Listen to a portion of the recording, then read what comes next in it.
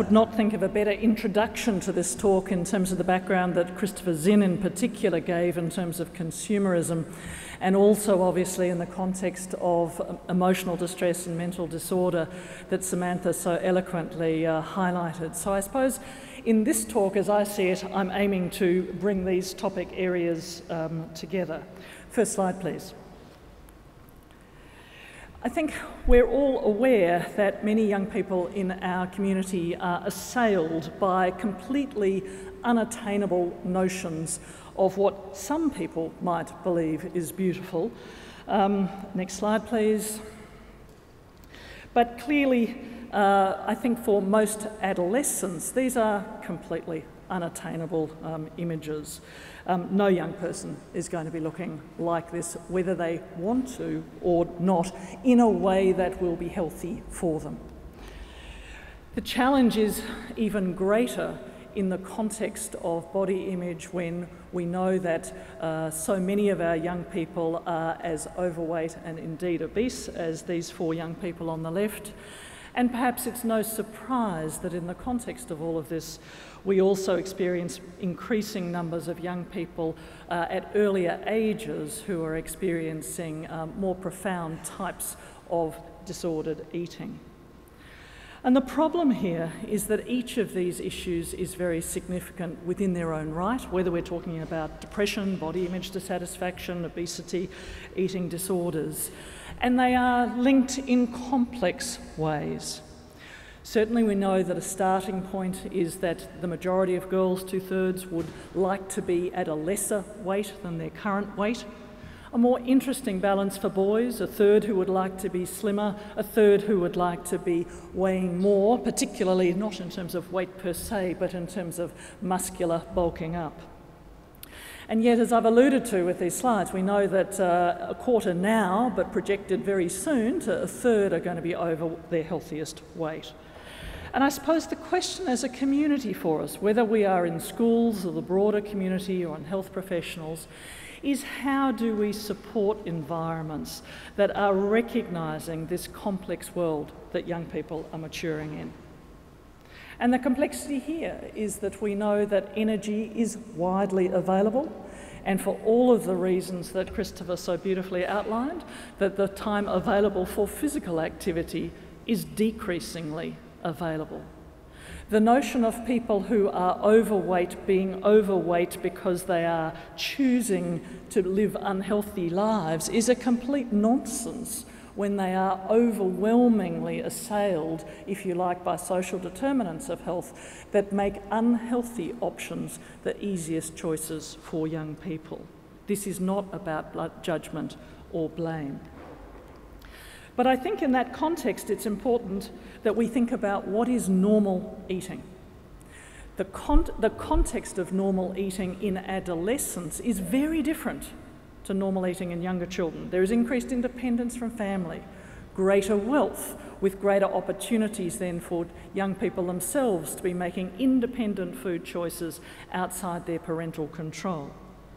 The content of meals across adolescence also greatly changes, not just in terms of what we know about skipping breakfast and having uh, skipping meals and uh, having more snacks, but a much higher energy content, which on one hand is appropriate in terms of the early adolescent growth spurts. Young people do need a lot of energy for that, but many young people these days are getting way above their normal uh, or recommended daily intakes. So, what are eating disorders? They don't arise out of the blue and they don't come from Mars. They are on a spectrum from normal eating through to dieting, through to subclinical disorders, and then diagnosable clinical conditions. And it's interesting to think when we look at on the left here that notion of what's normal eating, when we appreciate how few young people commonly experience uh, hunger and how hard it is for young people to recognise body, if you like, uh, experiences of hunger versus satiety or feeling full. But it's actually really important that young people have such experiences. Dieting arguably is becoming simply normal, but the ways that adolescent diet, adolescents diet are typically very unhealthy and certainly aren't effective in terms of losing weight for the majority of those, and 60% of girls and about 40% of boys suggest they are on a diet at any one stage. So, this notion that young people have typically of wanting to eat in a healthier way, which is the typical entry point into clinical eating disorders, for many of them is very appropriate. But young people, just like they take dieting messages to extreme, similarly take these notions of what healthy eating is absolutely to extreme forms and find it very hard to understand what is appropriate and what is not.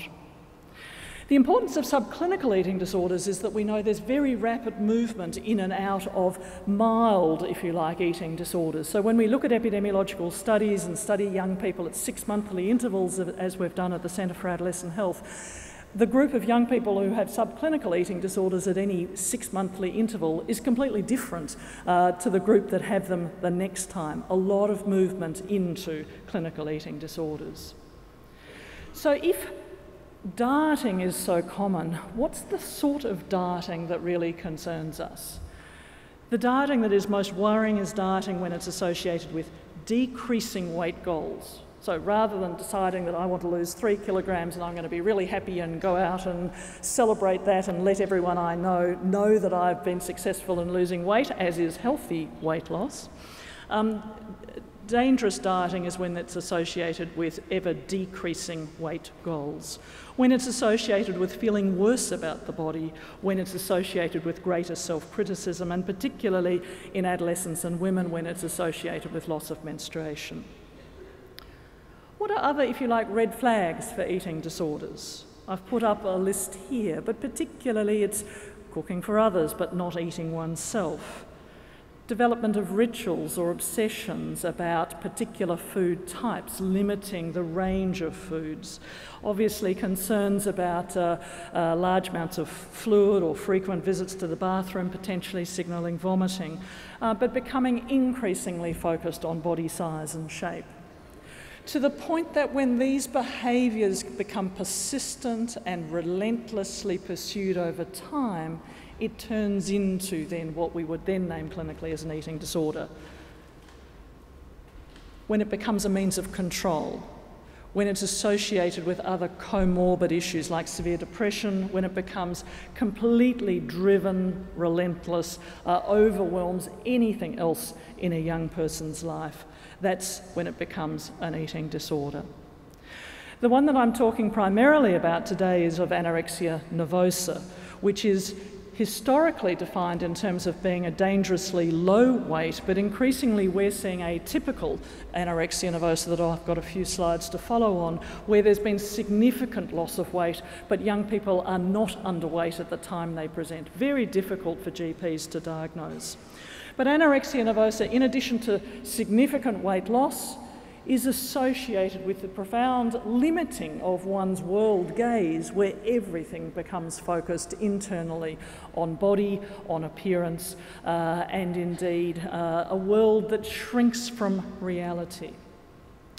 Bulimia nervosa is interesting, and I, picking up on a couple of comments that, uh, that Christopher made in the context of what I would refer to as the psychological notion of social contagion which we've become aware is part of the phenomena of copycat suicide, for example. First described by a psychiatrist in 1974, copycat suicide is when particularly uh, a celebrity or someone who's very well known commits suicide and there's great discussion uh, and awareness in the media, followed by then an increased uh, increase in suicide by a similar means. But social contagion has been invoked for a wide range of other behaviours as well, and bulimia nervosa is one of those. Not previously described until about uh, the late 70s, early 80s, unlike anorexia, which has been around for centuries. It's believed that much of the, if you like, the social chatter uh, that's out there is one of the phenomena that persist in understanding from generation to generation now uh, about uh, how one can readily, easily lose weight. So let's think about young Sarah, standard patient that we would see in a clinical service. 14 year old girl who was referred to the RCH specialist eating disorder program by a dietitian, Previously well, Caucasian background, intact family, good student, small circle of friends, no major risk factors in her background, you might argue. Investigations by her GP were normal, which is to be expected. It is very unusual that any investigations that we do medically show any abnormalities. The investigations are basically to exclude anything else. They don't diagnose an eating disorder.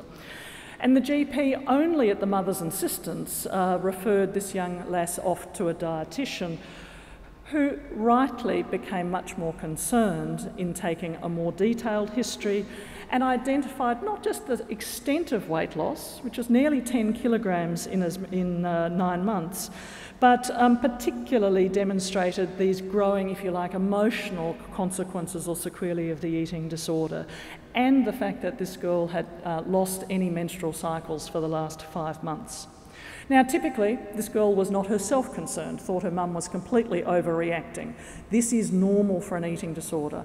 Unlike other conditions where people might be fearful of talking about them until others raise it, but then would often feel very relieved to be sharing the experience of, for example, suicidal ideation or depression or panic disorder with a parent, with a, a carer, with a health professional, with a teacher. For anorexia nervosa, it's what we describe as egosyntonic. That is, it's embodied within the young person's sense of themselves, and they do not want help. We'll come back to that when we think about what's the responsibilities of schools and communities in terms of reacting. And on examination, when we finally saw this kid, she was profoundly unwell, with her pulse rate 40 lying, dropping to 26 per minute overnight, which is why we admit a kid like this to hospital in order to prevent death from cardiac arrhythmia. So here's a GP, and I'm not being judgmental about the GP. Many GPs miss the severity of eating disorders because we are not teaching this well enough in our universities and in our medical schools.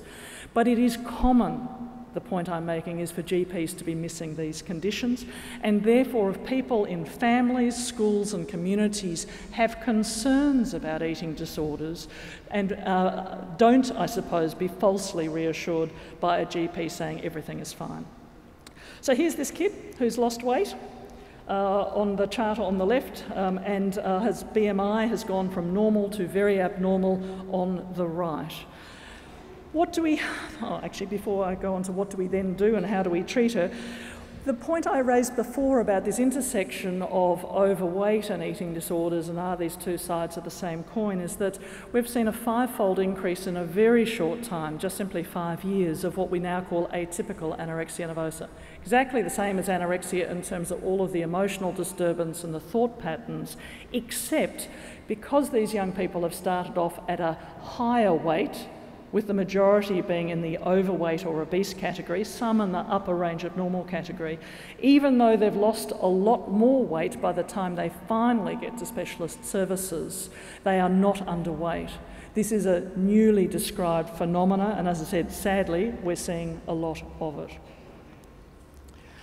So, how common are anorex is anorexia nervosa? It's relatively still uncommon. And whilst the age group of presentation or the age at presentation is reducing, so we're seeing many more 10, 11, and 12 year olds now than we would ever have seen a decade ago. It's still in a lifetime that one in a hundred women would have anorexia nervosa. Now, arguably, for such a severe mental disorder, that's still relatively common. In terms of eating disorders, they affect about uh, boys and about 10% of cases of anorexia nervosa, and we experience anorexia nervosa in all ethnicities and all socioeconomic groups. This is not a lifestyle choice, this is not simply seen in the sons or daughters of people who live in Malvern or Toorak, with apologies to those of you who might live there. It is seen in the western suburbs as much as it's seen in Dandenong and in Toorak. So, how do we recognise it? It can be difficult. There is a continuum. Anorexia uh, hides itself, people who experience it uh, do not share it. But the importance for families and communities is that it's associated with a significant decrease in functioning at every level physical function, social function, and emotional functioning. Emotionally, these are the effects that are experienced within school communities of kids who are increasingly socially withdrawn, depressed, anxious, irritable, restless, poor concentration, increasingly rigid styles of thinking. Now, there are a whole lot of other mental disorders that can similarly have these associations. It's not unique to anorexia nervosa. The point being, however, that these symptoms need, or signs need to be taken seriously. One of the important elements is getting a diagnosis, and we'll come back to the roles of schools and communities in terms of that. But I just wanted to signal that one of the new treatments now available is family based treatment for adolescents and children with anorexia nervosa.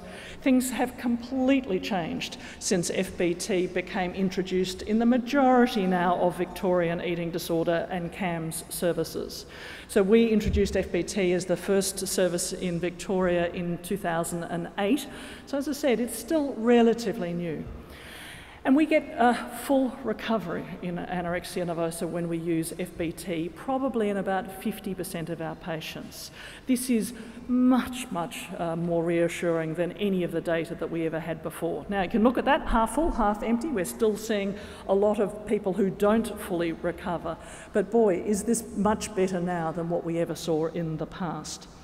The importance of family based treatment is that it requires engagement of both parents, if both parents are there, or the coming together in separated families of both parents, if kids are living and, and moving between households. And absolutely is recognising that rather than parents being ashamed because of being blamed for being the problem, as so often was the case in the past, that parents are critical to engage in terms of recovery. And the focus of family based treatment is overwhelmingly to initially simply to do with weight restoration, of returning kids to a healthy weight if they are underweight, or stopping further weight loss for the atypical group who have lost so much weight. It involves very much the parents separating the disorder from the child and fighting anorexia nervosa. The point I want to make about these three phases is not to go into them in detail. Typically, FBT is about a six month course of outpatient treatment that typically in our service follows um, uh, an inpatient stay, which is required in about, about a third of our patients. But one of the important things with FBT is that for the first few weeks, potentially the first couple of months even, Parents are, until they are confident that the young person is able to eat, will often have supervised eating even at school. And so the question there is where within a school community does that supervised eating take place? As I've mentioned, we've seen a dramatic shift in the way that parents are, I think, now more able to share a diagnosis, a professional diagnosis of an eating disorder with school based and community based professionals. There's been a dramatic difference and reduction in stigma. So, a couple of uh, weeks ago in the Sunday Age, one of our 12 uh, year old patients and family was perfectly open to share what was a very recent story of complete recovery from anorexia nervosa in their son in a way that 10 years ago most families would never go public in relation to, to coming, coming clean, if you like, in terms of having a diagnosis of anorexia. Even those school communities uh, typically would know that themselves.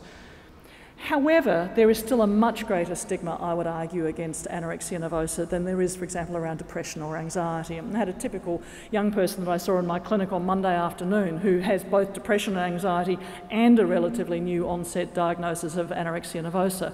Wanted me to speak to the school to let them know the extent of depression and anxiety, but did not want me to share the details of the eating disorder that at this stage I've been happy to support maybe if things don't continue along the positive direction that they're going at the moment, we might have to change our minds about that. So, what to do if you suspect an eating disorder? I think the key thing is to be approaching young people with your concerns, to be notifying parents, and to persist if you persist in continuing to have concerns. As I've said earlier, don't be put off either by young people or parents telling you there isn't a problem, if particularly the school community believes there is. So, in greater detail, be prepared for a conversation. Expect denial, expect resistance. Garner your evidence. It's not just you as an individual teacher, but maybe it's a number of teachers, maybe it's a number of students who have shared their concerns with you in a school leadership role. Obviously, in terms of any conversation with a young person about a sensitive topic, choose your environment, a safe environment, choose your time. Think about language. I am concerned about you, I am worried about you, and others are too. Be respectful of where young people are at in a journey towards recovery. You might not know that they've been involved in seeing professionals for help for many years. You might know that, or you might know, um, uh, but you can guess certain things. Schools have a lot of information about young people. So listen to what young people have to say very respectfully. But uh, if you have serious concerns, these concerns need to be shared with parents. It's a very different notion of confidentiality from certain other issues, and it's a, a hard balance to, to get right.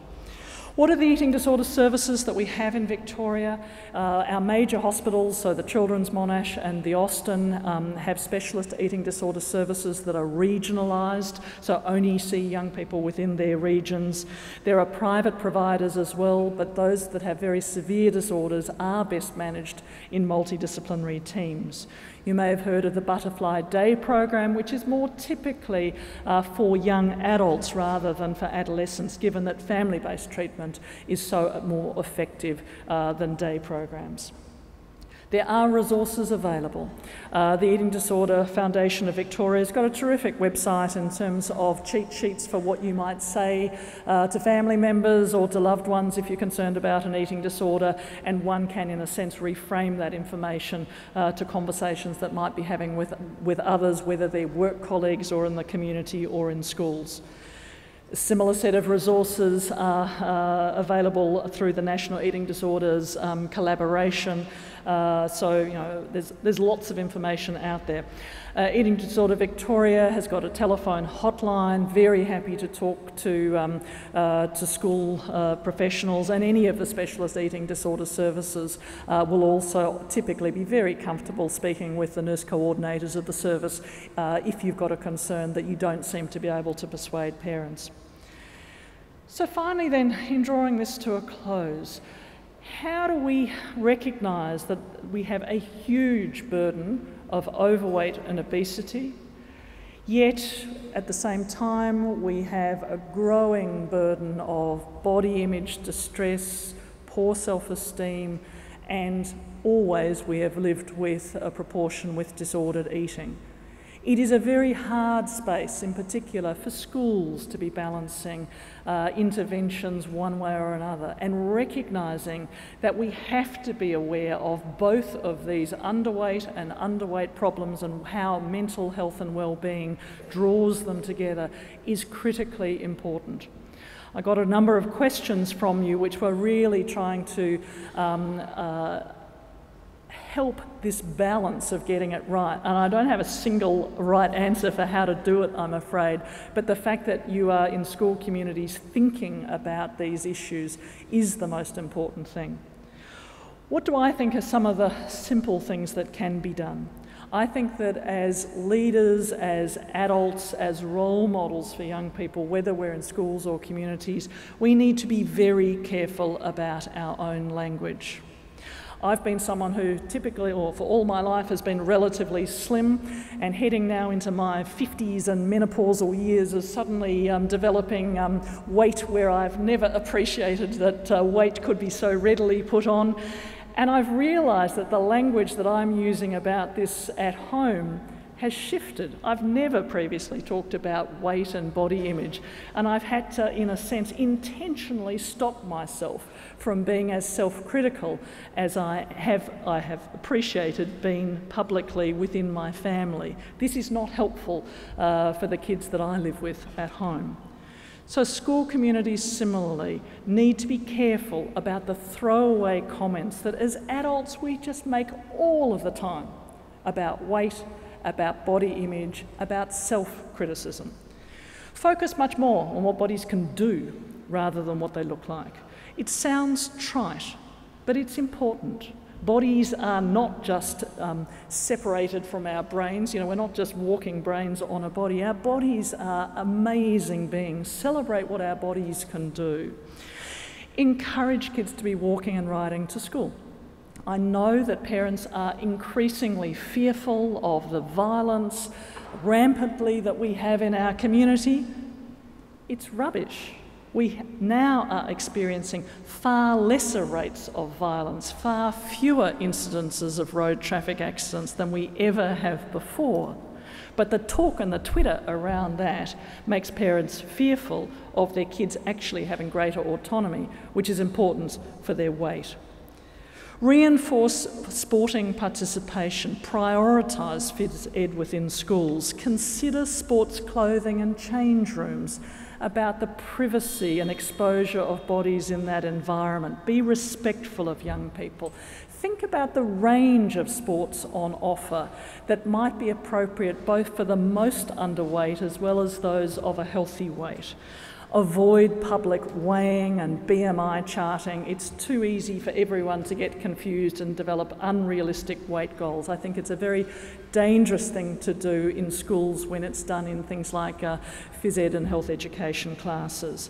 And like all schools should be targeting bullying, ensure that you are targeting weight related bullying as part of that. What about the role of schools in terms of promoting healthy food? Remember that a third of kids arrive in your classrooms, for those of you who come from school communities, without having had breakfast.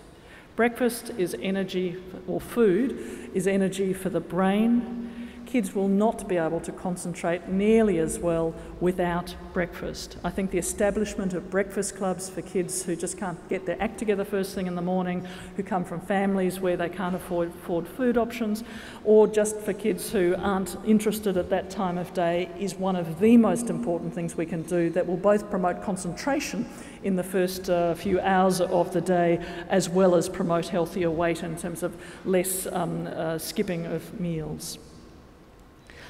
I think that we also need to think about some of the more unrealistic approaches uh, and expectations. You've probably seen the Live Lighter campaigns that have been currently running through the Anti Cancer Council that are very appropriate messages in terms of the toxic fat message for overweight adults in terms of them having risks of uh, cardiovascular incidences. But it's this sort of fear, if you like, that young people who don't have a more adult understanding and balance about what healthy eating and healthy diet and healthy physical activity is, that risk completely misinterpreting messages like this about the dangers of toxic fat. That if no fat is, that if low fat is good, then no fat is even better. And as I said, for many of our patients, the majority of our patients with eating disorders, their entry point into disordered eating is through taking on the message that's very widely out there in the community about needing to eat in a more healthy way. That's a really important message. But like in everything in life, it's the balance of how that is implemented by young people and in terms of their knowledge and their ways about and their, their knowledge of di diets and health. Um, they're not nearly as savvy as they might um, have you try and believe. I just want to end though in terms of where Christopher Zinn took us at the start of the consumerism, because I feel really strongly that our politicians have failed to grasp the significance of consumerism and marketing to young people of food. The food industry is one of the biggest industries in the world the extent that they are squealing internationally in those countries whose leadership has been bold enough to consider the notion of fat taxes in one way or other, whether it's Mayor Bloomberg in New York who tried to limit the size of sodas to, he didn't try to limit it to 100 mils or 200 mils. Mayor Bloomberg tried to limit the size of sodas to not having anything over half a litre now, these are extraordinary serving sizes that have become available. Mexico is the one country that has successfully introduced a fat tax. It's recognised that we need to be making unhealthy food options the more expensive choices for young people and obviously for families. And I think it's only when the community is recognising that individual efforts like Live Lighter campaigns are completely uh, tiny in terms of the sea of the multinationals who are selling and marketing unhealthy products to our kids. I would urge all of you to speak to your politicians if you feel so inclined, to think about how we want to be protecting future generations rather than having them consumers of unhealthy food. Thank you.